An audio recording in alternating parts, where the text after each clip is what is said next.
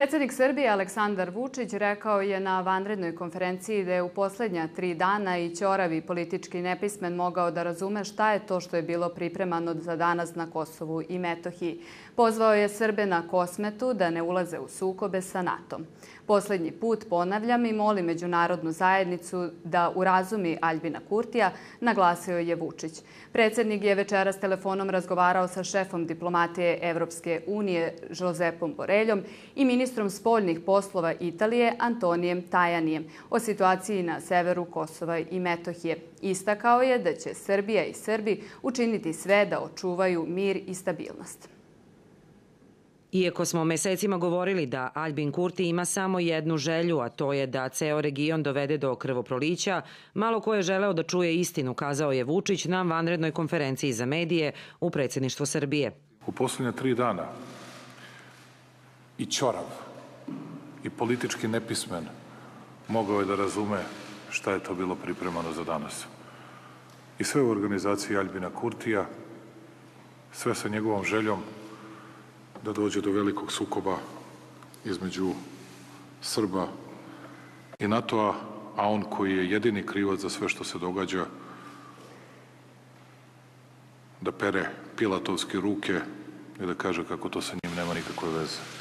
Kako je naglasio, Srbi na severu Kosova i Metohije su se okupili danas u 7 sati ispred opština Zvečan, Zubin Potok i Leposavić, a sačekali su ih vojnici Kvora i Bodljikava Žica jer i to obrnuto što je trebalo da urade bilo bi u skladu i sa saopštenjima, makar deklarativnim izjavama Kvinte, Evropske unije, Sjedinjenih država, svih koji kažu da je taj pogrešan i ilegalan potez Kurtija da u ove zgrade šalje takozvane albanske gradonačelnike. Oni to nisu uradili tad, nego su ih pustili da uđu u zgrade, a onda su ih opasali da bi njih zaštitili tobož od Srba. Iako su dva vozila specijalnih jedinica ROSU ostala okružena građanima i ispisana sa 4S, Vučić je naglasio da nije bilo nikakvog nasilja. Prema njegovim rečima, Srbi su tražili da se sklone specijalci ROSU i gradonačelnici, a na pregovore je otišao nekadašnji predsjednik opštine Dragiša Milović. Tada je komandant Kvora za region Istok rekao da razume srpske zahteve i da će ih preneti nadležnim organima. KFOR potom uslovljava čitav dogovor time da Srbi propuste dva borbena vozila Rosu iza kordona Kvora bliže opštini, jer se njihovi albanski policajci užasno plaše prisutnih Srba, iako su i sami Srbi bili u dvostrukom obruču Rosu i Kvora. Srbi na to nisu pristali, Predsednik Vučić je rekao da je najmanje 52 Srba povređeno i da su zatražili lekarsku pomoć u kliničko-bolničkom centru Kosovska Mitrovica. Kada je reč o pripadnicima KFOR-a, Vučić je naveo da je povređen 41 vojnik, najviše iz mađarskog i iz italijanskog kontingenta, a trojica imaju teže povrede. On je najavio da je zakazao sednicu sa predstavnicima Kvinte za sutra ujutru u 8 sati. Poručio je da Srbija neće dozvoliti pogrom Srba na Kosovu. Zapucali albanski okupator tada će situacija biti potpuno drugačija.